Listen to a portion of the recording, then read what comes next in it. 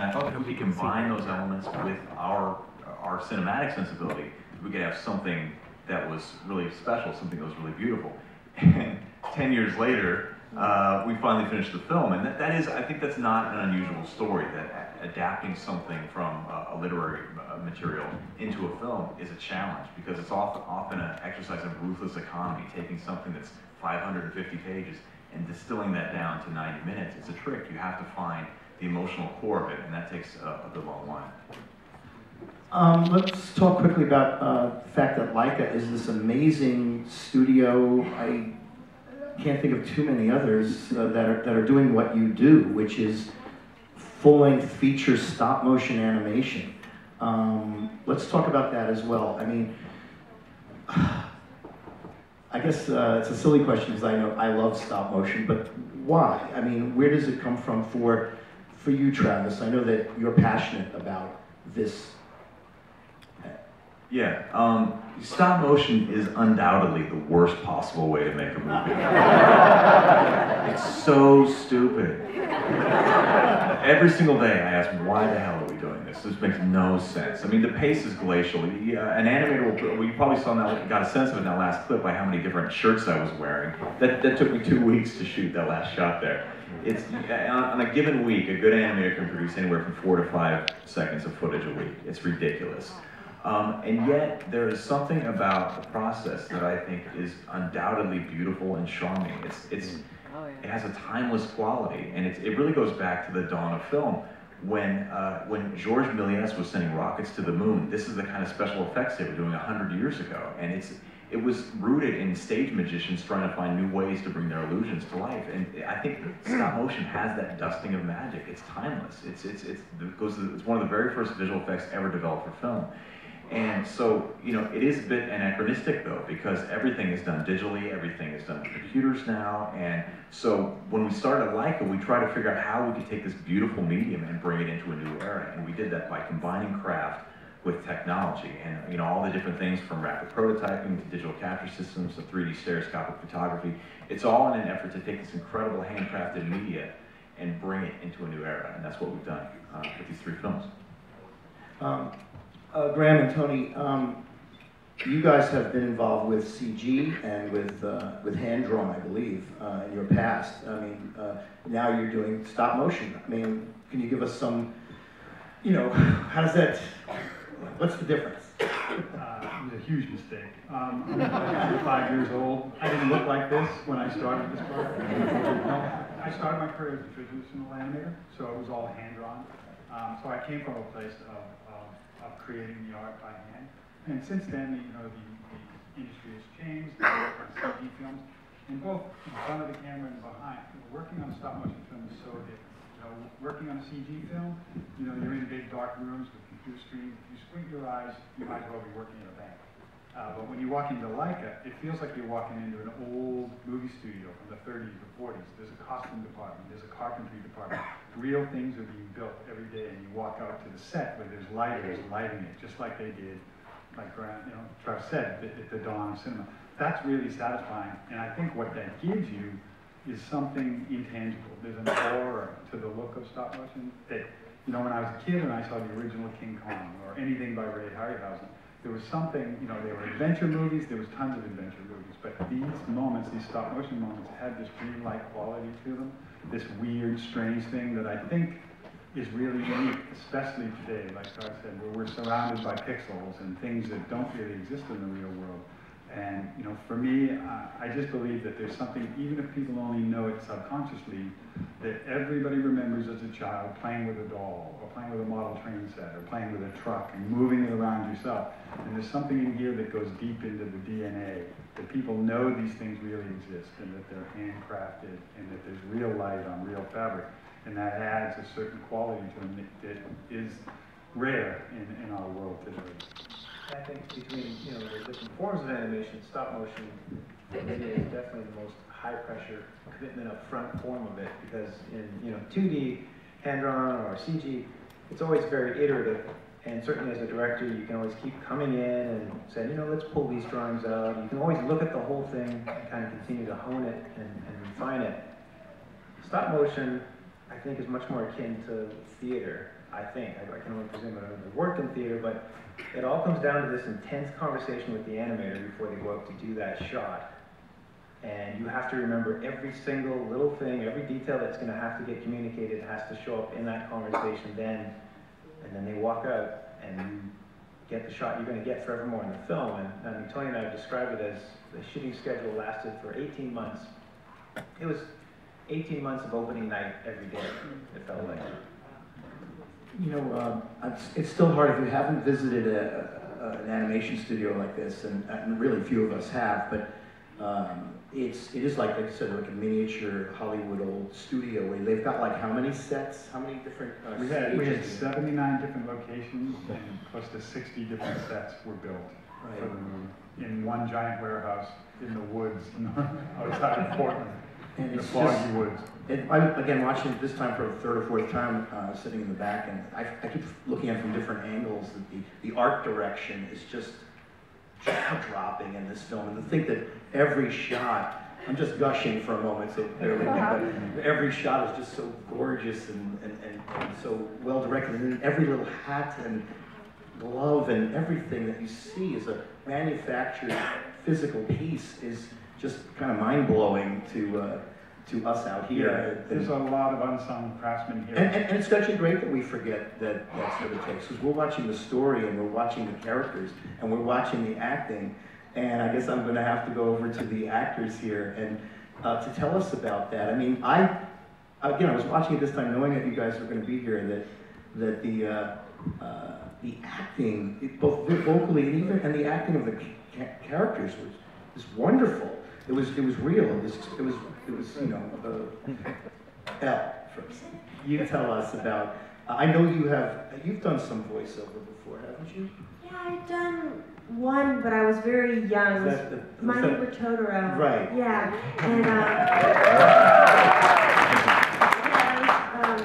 I was young, so uh, when they asked me, I known about Laika because my sister was the voice of Coraline. So in a weird way, I, and she did that for she was the voice for like seven years. She was still voicing it, and I remember her, you know, going to do that. And I I visited the Coraline sets when I was little in Portland with her, so I was very familiar with the family. And so as I got older, then the Boxtrolls came along and they asked me if I wanted to be a part of the family too. And um, of course I said yes because I just love it. I loved doll houses growing up. Like I would go, that was my favorite. I just loved tiny things. and because it, it, it was crazy. I remember when I was little, um, I saw at FAO Schwarz, they have a great dollhouse section, and I saw a tiny little Wonder Bread. It was like bread, you know, like Wonder Bread is, and it had, it looked exactly like the big Wonder Bread, but just small.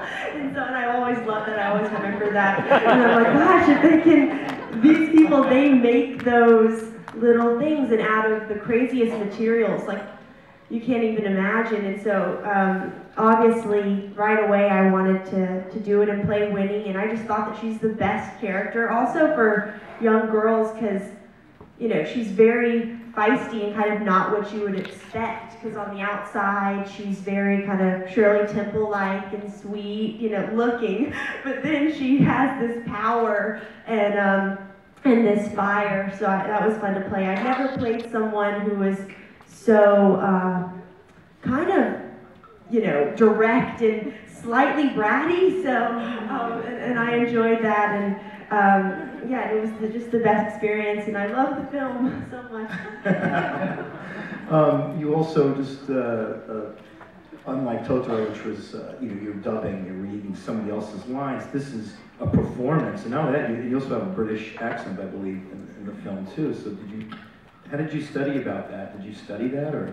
Well, we had um, a dialect coach. Tony was there for all my sessions in LA, and um, and Carla, the dialect coach, she helped me. So you know, we would, me and Tony would be like, oh yeah, that was a great on the emotion side. You know, that was a perfect take, the way it sounded. But then Carla would be in the background, like, no, that word was not English. That was wrong. So we had to do it again. And um, and yeah, and, and so. Um, yeah, and that, that yeah, that was what happened. I just want to know, also know, when you first saw the film, did you see it in progress, or did you, did you, when you, did you see it when it was all done? And, and what did you think of, of you in the film, the film itself? What did you think of that? Oh, I, I love it. I, and he would bring back um, Tony. I, the first time I did my, you know, voice because you don't do it all in one sitting. You, you have to go back.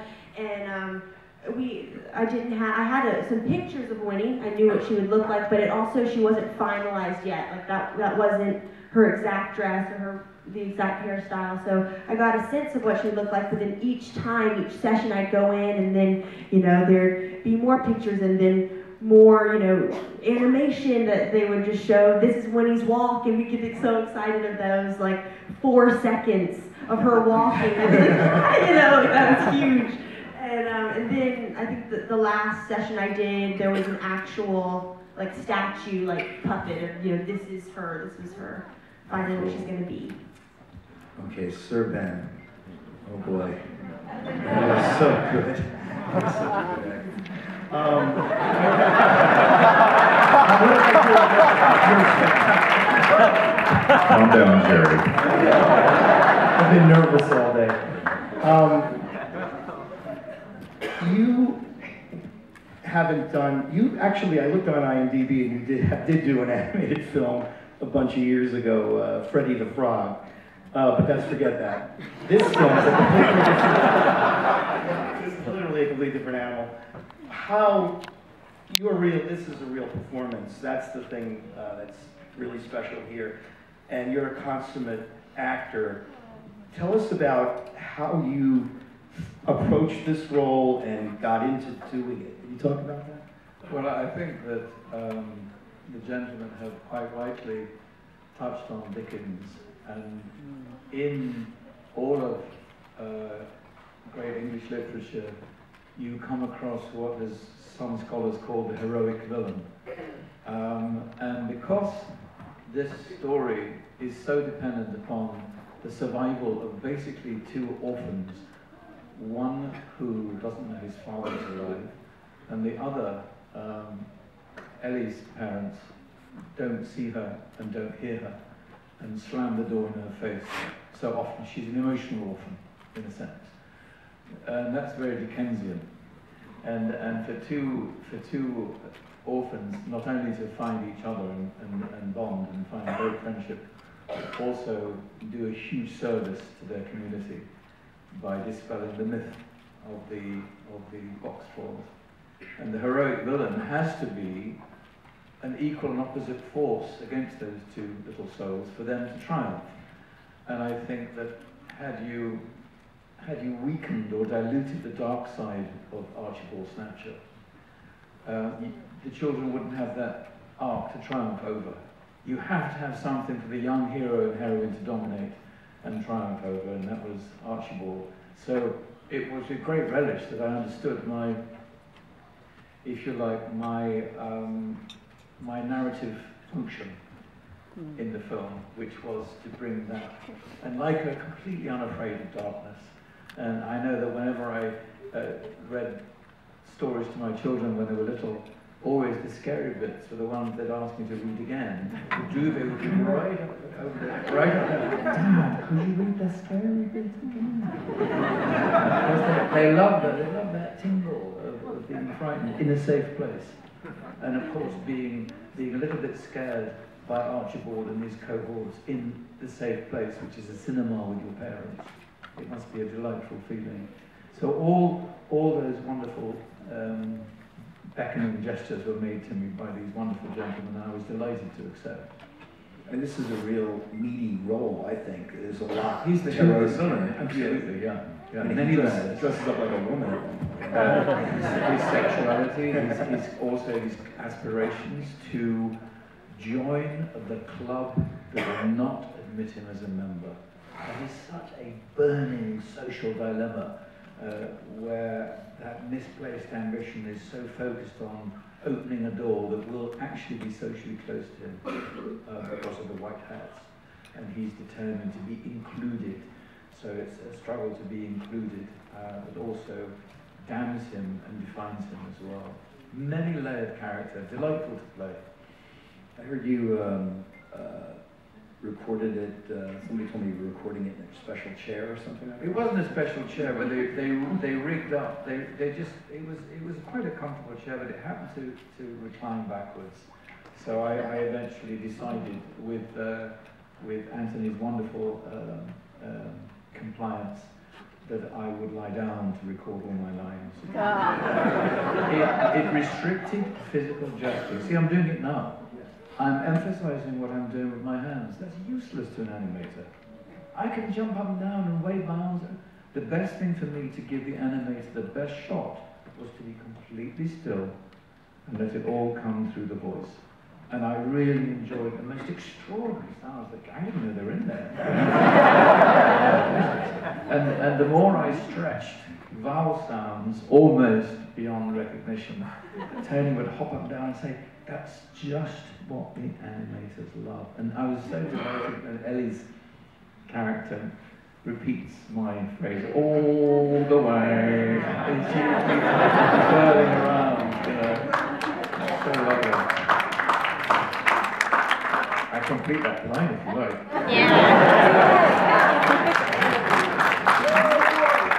Ow, yeah.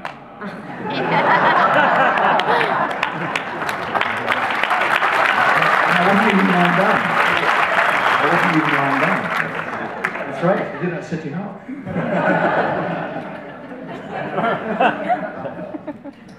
Um, so, uh, did you, how long did it take, how many times, how many sessions did you have? I think we had, we said there was only gonna be six, but it turned out to be eight.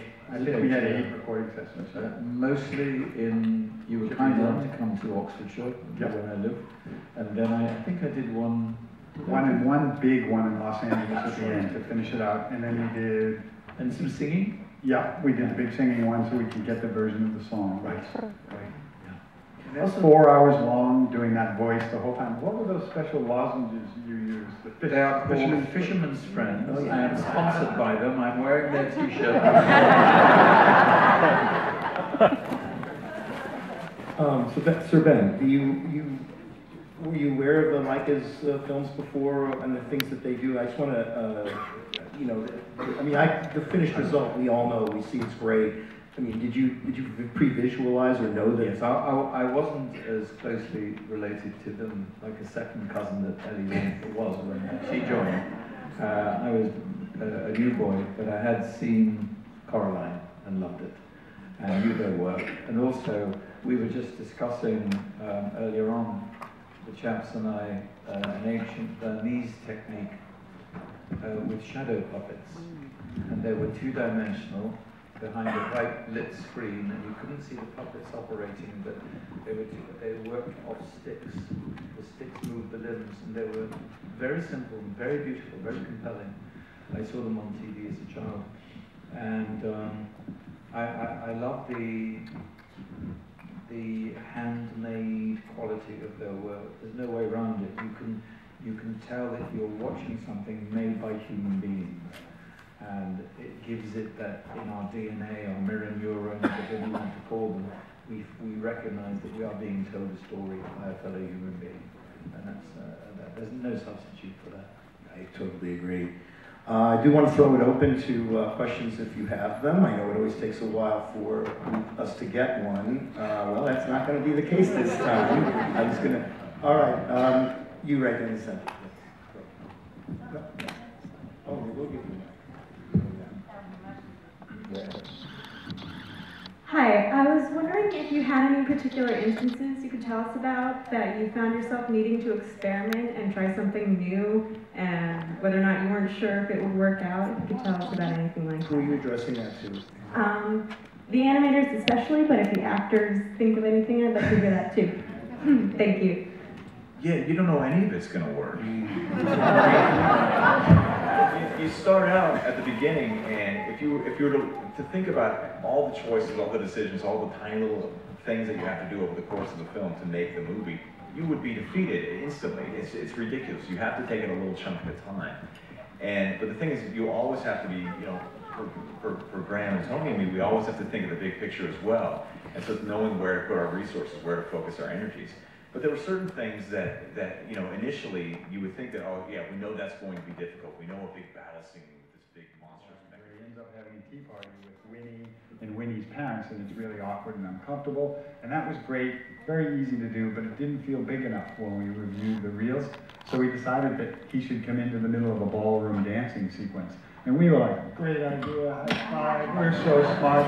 It turned out to be the most difficult sequence to Yeah, we have, for every sequence in the film, we have a breakdown meeting where we have all the heads of department come together in the same room and we all discuss shot by shot how we're gonna handle each piece of the film. Usually Those meetings are really boisterous and everybody's kind of pumped up, there's a lot of espresso and coffee and cookies.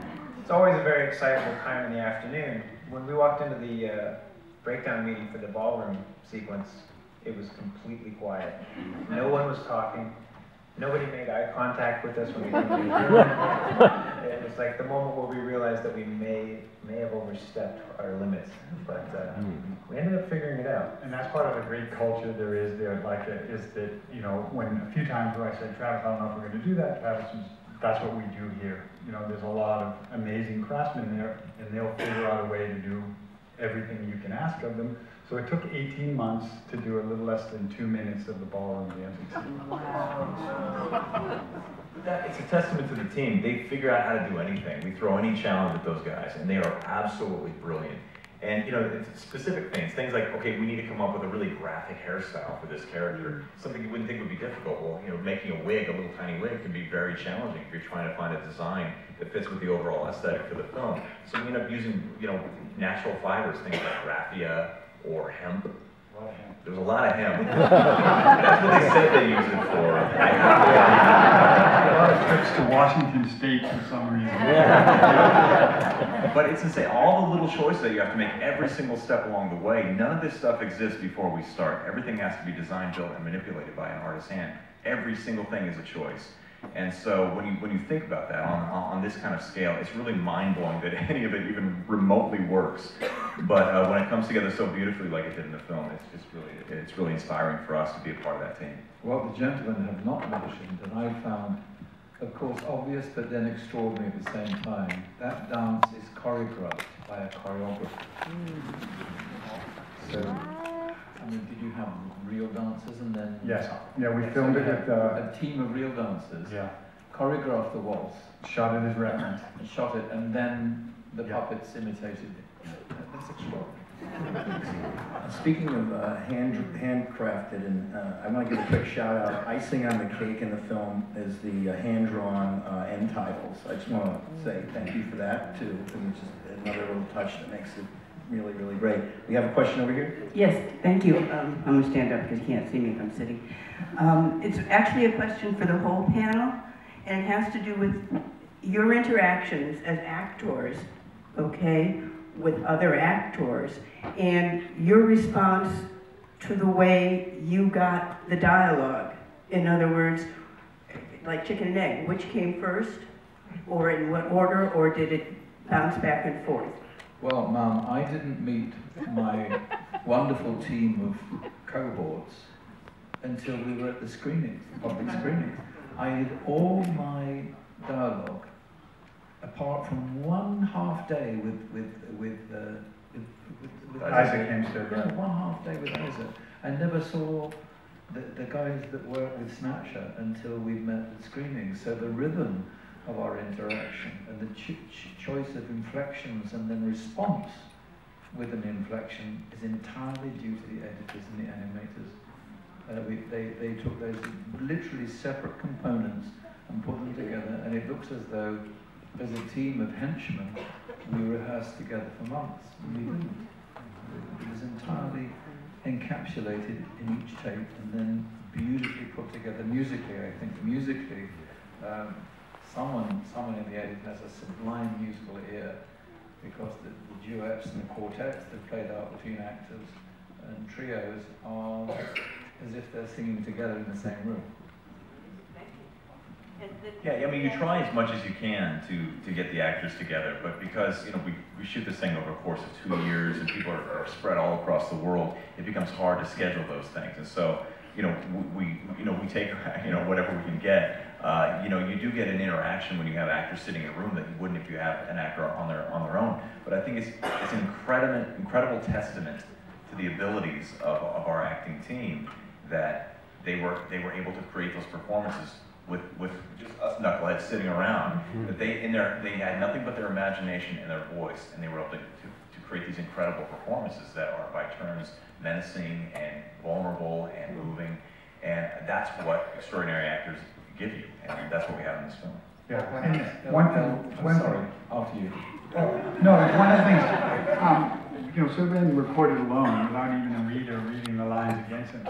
And one of the things that was a little unique to the way we worked together is that you would do three takes of every line from the very beginning of the moment. So you, you, you know, I could always tell you came prepared, you came with an idea and stuff, but each one of the three takes would be slightly different. So in a scene like where you had Portley-Rind and Snatcher on the stairway, where it's a little bit of a tango, a little bit of a battle back and forth, trying to pass him on the stairway.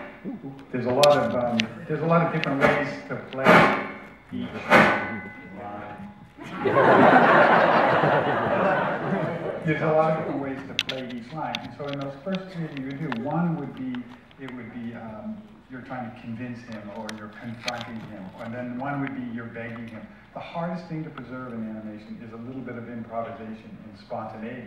So you try to force that spontaneity to happen mechanically by getting subtly different readings. And so it takes a lot of patience from, from the actors and a lot of trust when you're telling them, well, you hate this guy and you're trying to get past him on the stairs, confront him. And then you get three lines of a confrontational take. And then you go, now begging.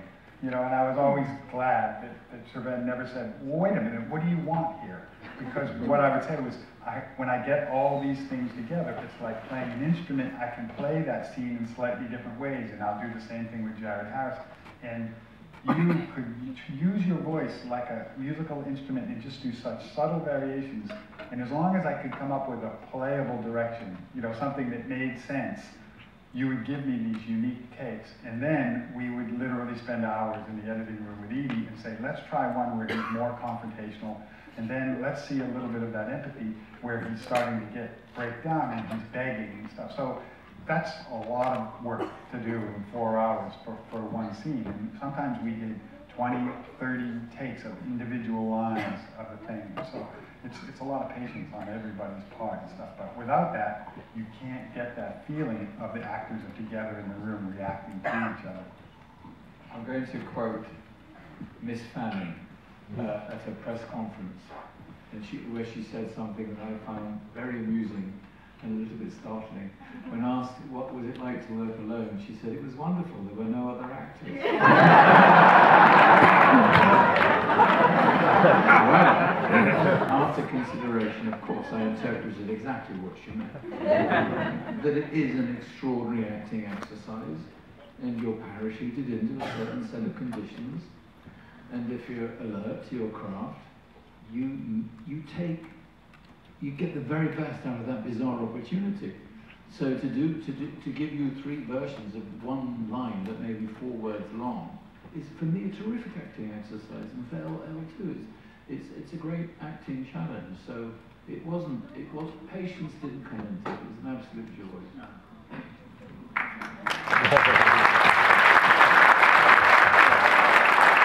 I think we have another question over here.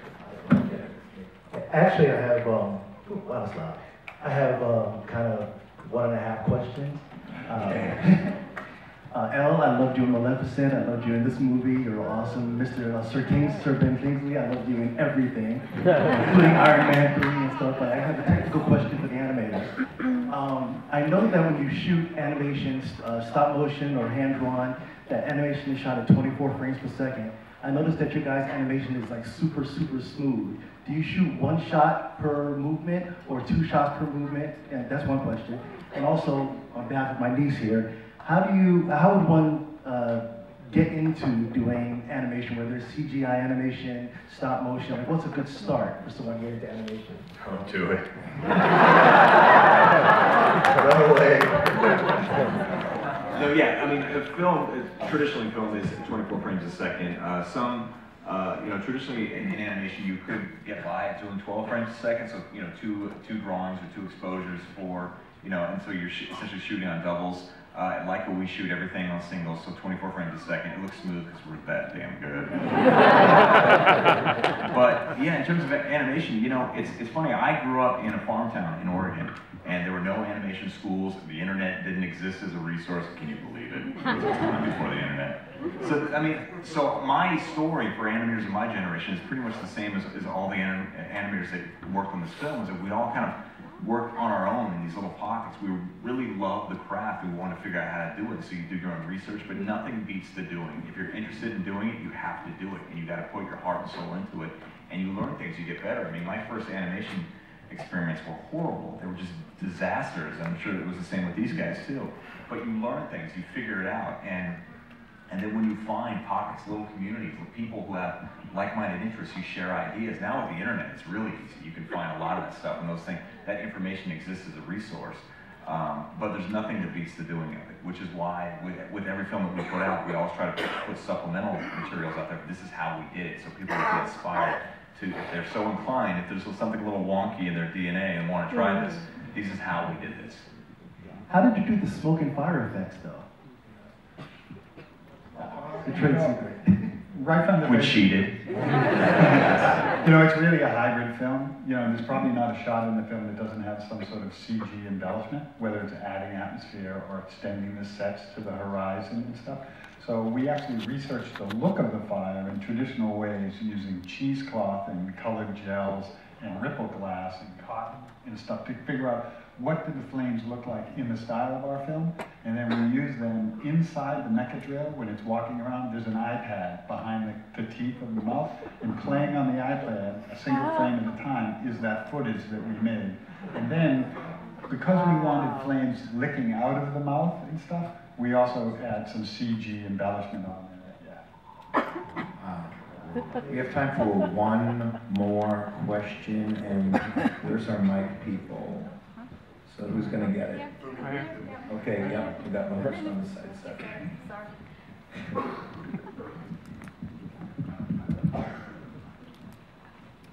Hi, I, I did want to say I actually saw the video of how you did the cheesecloth behind the plexiglass and it was amazing. Um, I love the film and uh, I wanted to know how do you find the talent for uh, fabrication and set work and uh, what you would suggest to someone wanting to get involved in the next film. Well, it's, I mean, we scour the planet for people that are just really good craftspeople because, I mean, the, the amount of people that actually do stop motion for a living, I mean, it's like, in, in this entire world, there's like 200 maybe. It's like there's nobody does this kind of stuff for good reason. So if, if we're trying to make a film that requires, you know, a, a team of, of 300 people, we have to scour the planet for them, which is why we really have an international crew at the studio. They're from all over the world. And, and then for other things, we have to train them. So we'll find people who are really good at using their hands, like ceramics, or who are seamstresses, or who do uh, jewelry making or watchmaking, or that's just really intricate, detailed stuff with their hands. And then if you, you know, take their perspective and just shift it slightly, they can be extraordinary stop motion artists. And so that's that's kind of been our process. We find people who are really good artists, and then you can kind of tweak their perspective, and they can be incredible animators. So, uh, you know, that's really the thing, is you've got to have that mind, that mentality, that ability to focus intensely for long periods of time on one mind-numbing thing. And uh, if you're passionate about that, you can be a great stop motion animator. Huzzah! that's my, that's my take on it. Okay, that's our panel. Um, Laika, Box Trolls, wow. Thank you, Graham Annable. Anthony Stacchi, Travis Knight, Elle Fanning, and Sir Ben Kingsley.